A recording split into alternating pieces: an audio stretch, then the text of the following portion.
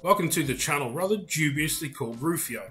I'm the best Yu-Gi-Oh in my street, a very average player who uses this platform to trick you into thinking I'm good at and capable of playing Yu-Gi-Oh on any kind of level at all. Before we get started, why don't you hit subscribe for me, even if it's not because you secretly enjoy bad content, but because you pity me. I need every bit of help I can get.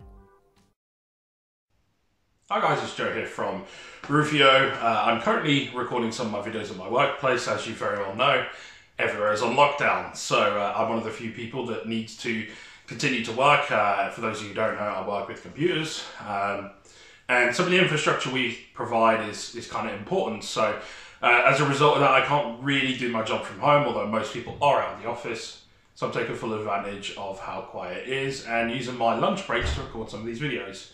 I do want to apologise if there's any crazy noise in the background.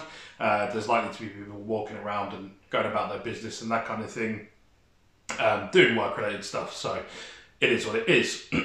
now, I wanted to have a discussion today a little bit about Lightsworn. Uh, so what I'm going to do is I'm going to do a series of these where I go through some of my favourite decks and talk about what position they have uh, in the metagame at the moment, and uh, in particular their transition into Master Rule 5 and how they're likely to get on with that. So we'll get stuck into that shortly. Okay, so I've got my little book of notes here, so I don't miss anything out that I've uh, thought about that I would like to talk to you about. So, the first thing I'd like to talk about is uh, what type of Lightsworn builds there are out there. Now, there's a very limited amount, uh, and over time this has decreased um, as the deck becomes less and less viable. But it is still one of my favourite decks, and I do still like to mess around with it from format to format. So, there's a few different ways you can play the deck. Uh, some people prefer the whole Judgment Dragon Turbo variant, uh, which is still very much viable in terms of uh, we've got Starlish Dragon Safer, uh, amongst other options. Um, a lot of people like the rank 4 spam variant. Uh, this is the variant that I quite often play when I want to take it to locals because I want to just go and uh, try and get as many wins as I can, play it as competitively viable as possible. Of course, it is a deck that has now been power crept. The whole mechanic of just milling random cards from the top of the deck um, can leave a little bit to be desired in, in, in respect of if we wanted to play a deck that mills cards that we kind of choose that go to the graveyard, we play something like Burning Abyss. Um, but for those of us who love the cult classic of Lightsworn, uh, we quite enjoy that random variant of just milling three wolf off the top and just filling up our entire field. Um, so again, the rank four variant is is actually still in a really good place. In fact, it's benefited hugely from the master rule change, uh, and it will continue to do so. I think it's you know best best it's a rogue pick. Uh, for any given format. There will be, of course, anomalies in that in, in terms of people who use the engine uh, in a different deck and benefit from that. But at the moment, I don't see it really going beyond that. Uh, the Judgment Dragon variant is probably a bit closer to more the casual mark rather than even a rogue pick. Um, Judgment Dragon is so much fun to play with, but it is just fun. Um, it's not super super viable. Although we have got the re-release of things like Legionnaire, so people may uh, sort of mess around with a, a dragon oriented variant, which could potentially run Judgment Dragon and that kind of thing. Now, in terms of first turn boards, one of the things that this deck has struggled with to keep up with, in fact, is building those turn one boards. Um, a lot of the time it's better to play go second variants, I find with Lightsworn from my experience, in that you can just turbo ways to kill your opponent. Like, because we can rank 4 so, so easily, you know, we can do things like make Utopia double, uh, blow out our opponent. Um, you know, we could, you know, turbo up our links and go into things like Borrelsword or we could go through the Yazi and Mermare package with Destrudo, which there is a combo video how to do, although that is now dead. on my channel. Uh, so if you did ever want to go check that out for the sake of looking back and seeing how it would have worked, you can find it out there. Um, but yeah, we, we have sort of less options even going first now because the likes of Glow Bulb have been hit. We've seen uh, Malicious hit, which some people would run in there. Um, obviously, has now been hit.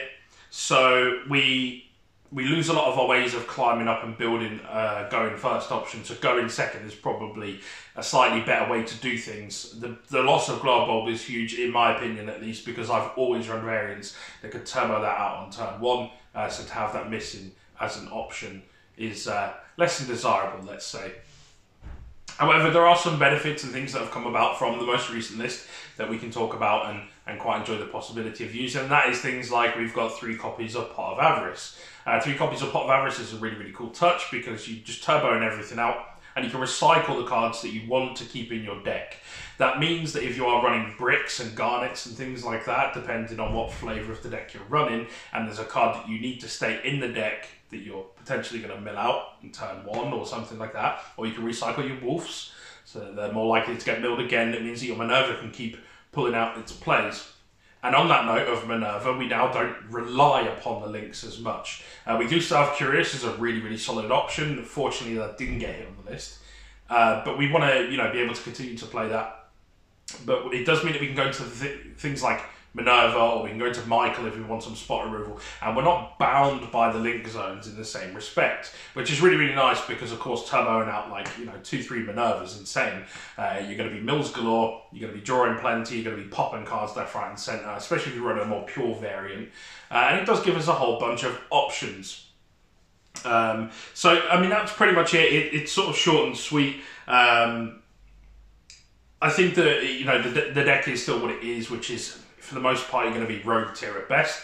You can, of course, experiment. The, the engine is really fun to play with, just milling and drawing, and turbo through your deck is really nice.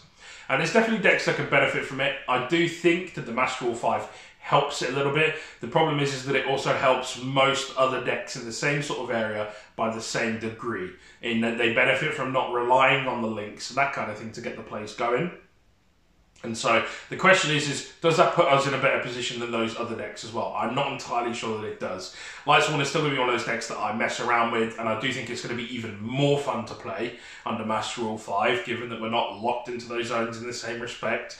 Um, but will it improve the deck significantly? I'm not so sure, and especially with the, the most recent indirect hits that we were seeing on the deck. Uh, it just seems one thing after another. But we'll see. Hopefully, someone will come up with something surprising and we can play the deck uh, at its best again. Some sort of genius out there. I know it definitely won't be me.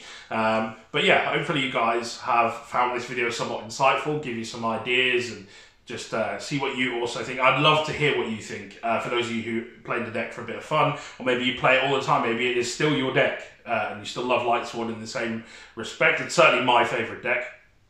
So anyone comes up with some great ideas, great ways to play the deck, definitely let me know down in the comments. If there's anything that you think that I've overlooked, uh, certainly let me know down in the comments too. Uh, if this is your first time visiting the channel, or maybe you've visited before and you just decided not to subscribe before, maybe you should hit subscribe now. Uh, that would be awesome. Awesome to have you on board for future videos and the like.